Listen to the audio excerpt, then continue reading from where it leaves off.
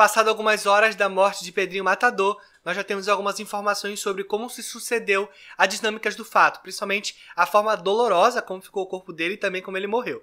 Mas eu te contar nesse vídeo, então já ativa o sininho de todas as notificações, deixa teu like e compartilha com amigo. É o seguinte, pessoal, o que se tem de mais aceito até agora é o seguinte. Ele estava saindo da casa dele, próximo à localização onde ele morava, em Mogi das Cruzes.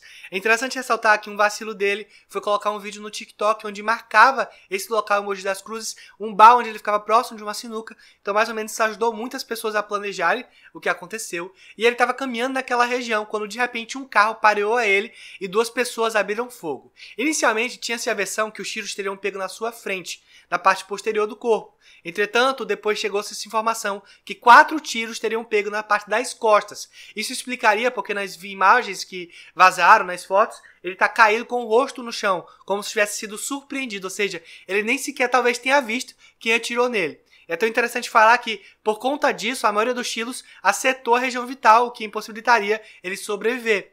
E o mais bizarro e curioso desse caso é o seguinte: é que os criminosos que fizeram isso lá na frente trocaram de carro, ou seja, utilizaram um carro para abordar ele e atirar, e depois trocaram de carro para despistar qualquer tipo de perseguição policial. Ou seja, dando a entender que seria algo premeditado, que descobrir a localização dele foi crucial para que eles conseguissem executar ou até mesmo acelerar um plano que poderia ser até futuro. Então, o fato foi crucial ele postar um vídeo onde tinha uma localizaçãozinha dele lá. Então, tome muito cuidado ao postar foto ou vídeo na internet, que pode inclusive expor a tua localização.